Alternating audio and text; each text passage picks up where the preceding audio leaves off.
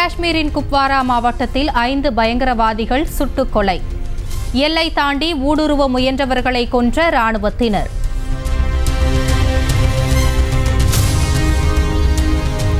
ஜம்மு காஷ்மீரின் ஆர்எஸ்புராவில் போர் நிறுத்த ஒப்பந்தத்தை மீறி அத்துமீறி துப்பாக்கிச்சூடு நடத்திய பாகிஸ்தான். குண்டுகள் பாய்ந்து ஏராளமான வீடுகள் சேதம்.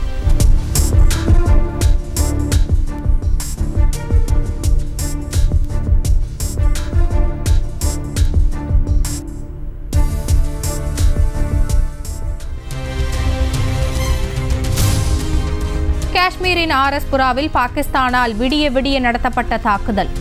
வயல்வெளிகளில் விழுந்து கிடந்த குண்டுகளை கைப்பற்றிய கிராம மக்கள். இந்திய பங்குச் சந்தைகளில் வர்த்தகம் உயர்வுடன் தொடக்கம். வர்த்தகத்தின் தொடக்கத்தில் சென்செக்ஸ் நானூற்று பதினோரு புள்ளிகளும் நிப்டி நூற்று பதினாறு புள்ளிகளும் உயர்வு.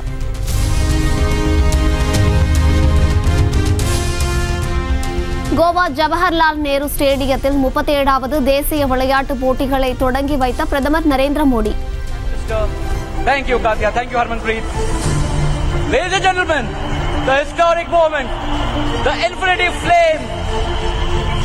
by the Prime Minister himself, 37th National Games 2020. தேசிய விளையாட்டுப் போட்டிகள் ஒவ்வொரு இளம் விளையாட்டு வீரருக்கும் வலுவான அடித்தளம் என்று பேச்சு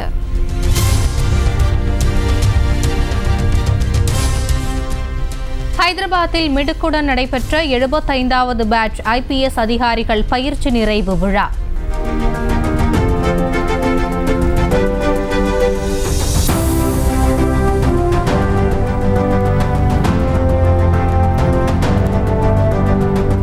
உள்துறை அமைச்சர் அமித்ஷா பங்கேற்பு.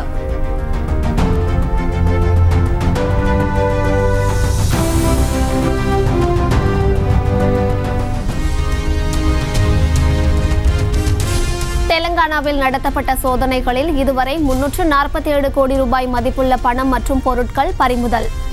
சட்டப்பேரவை தேர்தலை ஒட்டி பறக்கும் படையினர் அதிரடி நடவடிக்கை.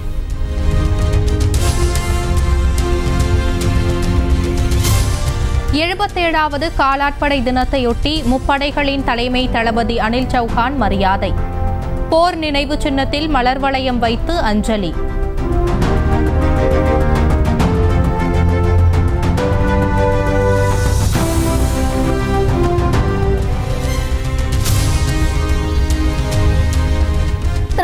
காங்கிரஸ் எம்பி மஹுவா மொய்த்ராவின் பயண தகவல்களை தருமாறு மத்திய தகவல் தொழில்நுட்பத்துறைக்கு கோரிக்கை. நாடாளுமன்றத்தில் கேள்வி கேட்க லஞ்சம் பெற்றதாக அளிக்கப்பட்ட புகாரில் மக்களவை நெறிமுறை குழு கடிதம்.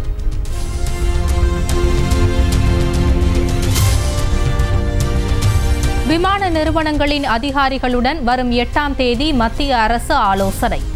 விமான பயணிகளின் தொடர் புகார்களை அடுத்து நடவடிக்கை.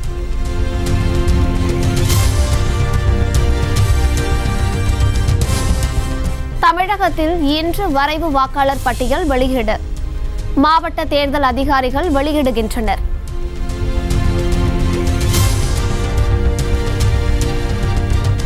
பெட்ரோல் குண்டு வீசிய கருக்கா வினோத்தை கமலாலய தாக்குதல் வழக்கில் ஜாமீனில் எடுத்ததே பாஜக மாவட்ட வழக்கறிஞர் பிரிவு செயலாளர்தான் என்று குற்றச்சாட்டு. அம்பலமான பாஜகவின் தனக்குத்தானே வெடிகுண்டு திட்டம் என்று திமுக ஐடி விங் பதிவு.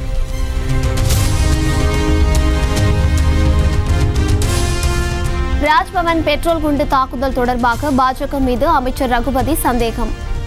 கருக்கா வினோத்தை ஜாமீனில் எடுத்த வழக்கறிஞர் பாஜகவில் உள்ளதால் சந்தேகம் ஏற்பட்டுள்ளதாக தகவல்.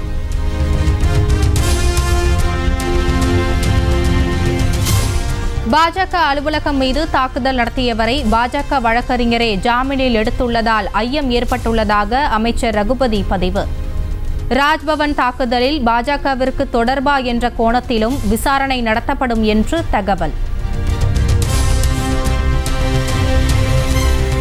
தன் மீதே பல ஊழல் குற்றச்சாட்டுகளை வைத்துக்கொண்டு அமைச்சர் ரகுபதி பொய் செய்திகளை பரப்புவதாக தமிழக பாஜக புகார். சட்டத்துறை அமைச்சர் சிறிதேனும் பொறுப்பை உணர்ந்து செயல்பட வேண்டும் எனவும் எக்ஸ் தளத்தில் பதிவு. கருக்கா வினோத்தை ஜாமீனில் வெளியே கொண்டு வந்தது திமுக நிர்வாகிகள் என்று தமிழக பாஜக புகார்.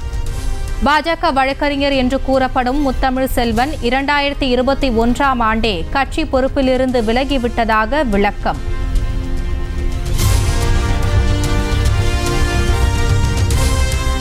மிரட்டல் விடுப்பதாக திமுக கூட்டணி கட்சிகள் மீது பழி போடும் ஆளுநரின் நோக்கம் முறியடிக்கப்படும்.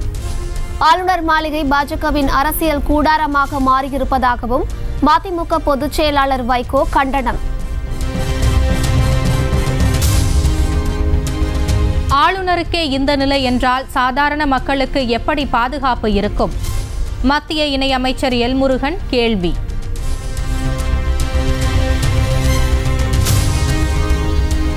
அரசு மதுபான கடை பார் டெண்டர் விண்ணப்பிப்பதற்கான கடைசி தேதி மாற்றம். இன்று கடைசி நாள் என்று அறிவிக்கப்பட்டிருந்த நிலையில் நவம்பர் ஒன்றாம் தேதி மாலை வரை அவகாசம் நீட்டிப்பு.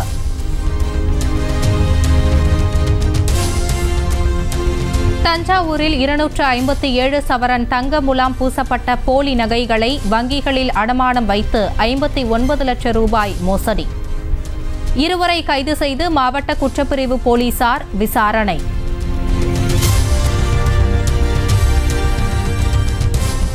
முன்னாள் பிரதமர் லீ கெகியாங் காலமானார். மாரடைப்பால் உயிரிழந்ததாக தகவல். பதிமூன்றாவது உலகக்கோப்பை தொடரின் இருபத்தைந்தாவது லீக் ஆட்டத்தில் நடப்பு சாம்பியன் இங்கிலாந்தை எட்டு விக்கெட் வித்தியாசத்தில் வீழ்த்தி அபார வெற்றி பெற்ற இலங்கை. தொடர் தோல்விகளால் மங்கும் இங்கிலாந்தின் அரையிறுதி வாய்ப்பு.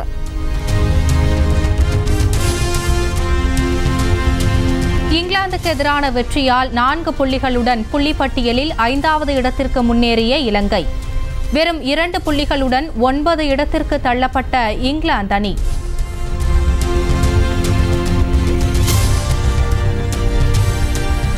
ஒரே இரவில் மோசமான அணியாக மாறிவிட்டோம் என்று இங்கிலாந்து கேப்டன் ஜாஸ் பட்லர் வேதனை. ஆட்டத்தில் தாங்கள் இது போன்ற தவறுகளை வெளிப்படுத்தி இதுவரை பார்த்ததில்லை என்று இலங்கைக்கு எதிரான தோல்விக்கு பின்னர் பேச்சு.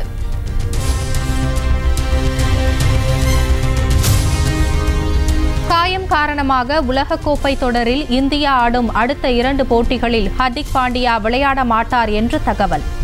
இங்கிலாந்து அணிக்கு எதிரான போட்டியில் சூரியகுமார் இஷான் கிஷன் களமிறங்க வாய்ப்பு.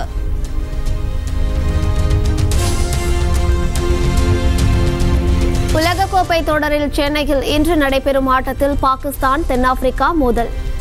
தொடர் தோல்விகளிலிருந்து மீண்டு வருமா பாகிஸ்தான் படை என்று ரசிகர்கள் எதிர்பார்ப்பு.